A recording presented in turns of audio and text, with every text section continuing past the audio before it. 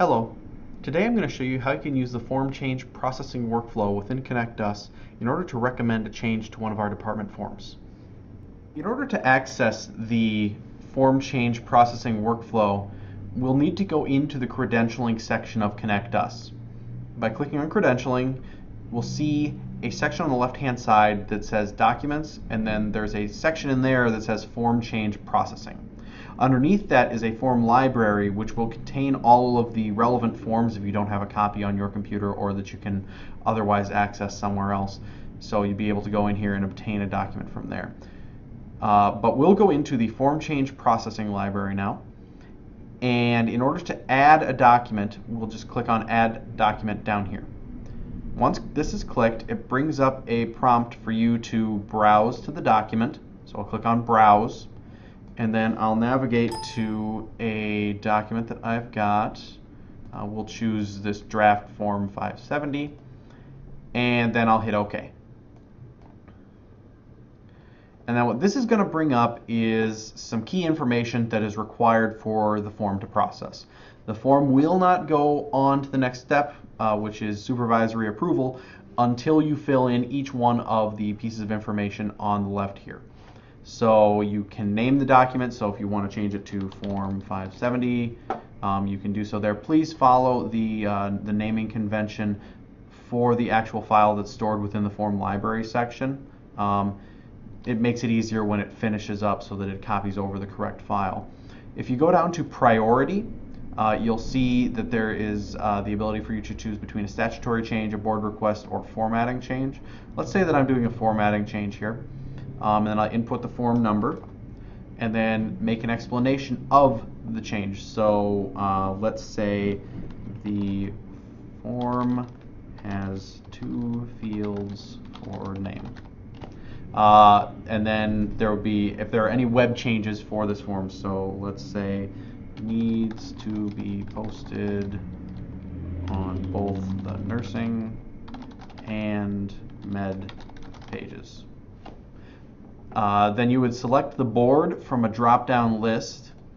This list has all of the boards that are uh, covered by our agency. I'm going to be using a, um, a testing board here, uh, but that will be uh, deleted once this goes live, so you'll have to choose your actual board here. That determines the list of people who get notified, and the item underneath that has the notification type it says board affiliates only, list only, or board affiliates and list. And then there's a section down here that says list staff to notify. Uh, if you just want to notify the people who are affiliated with your board, click on board affiliates only.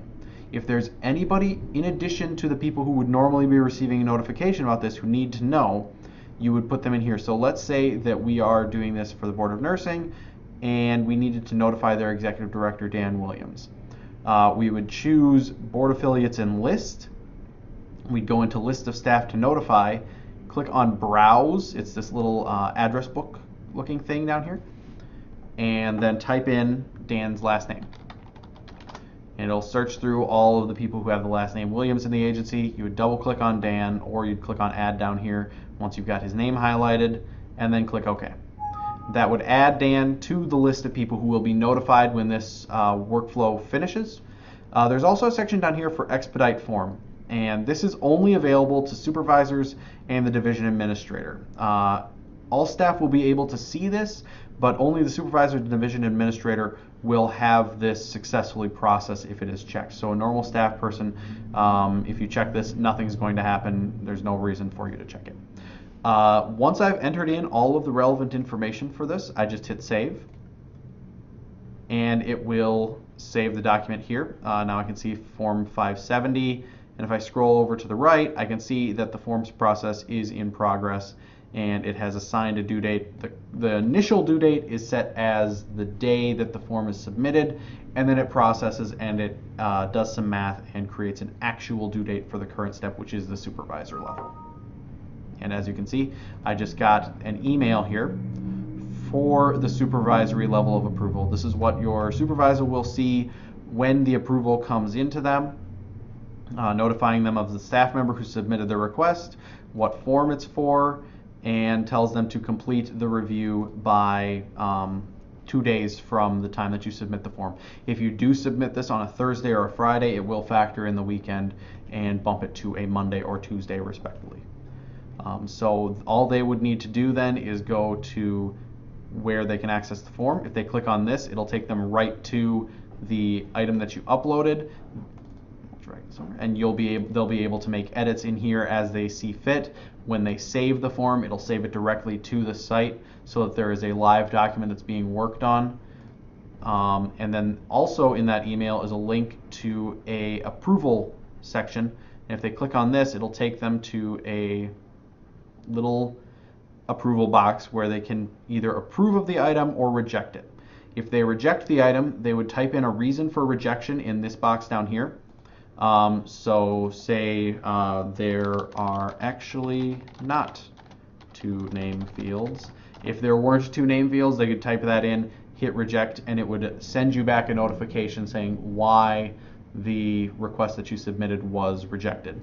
Um, let's say they are going to approve this though, they would just hit complete task, and then it'll go on through the process. Uh, at intervals throughout the process, there are reminders that are programmed in where it checks to see if the approver has completed the section or has not. And if they have uh, managed to complete it on time, it doesn't send them a reminder email. If they haven't, it will give them a, a little alert telling them, hey, go back into the system and look at this, see um, if you can uh, make the adjustments necessary.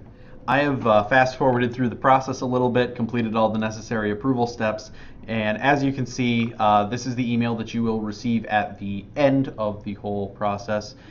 Uh, this email will list all of the people who uh, need to have notification in the to box. Right now it just says me, but when uh, one actually goes through, it'll have a much longer list in here of uh, relevant staff to notify. And since I checked that I wanted to use the, uh, the custom list as well, it has included uh, Dan Williams in the notification.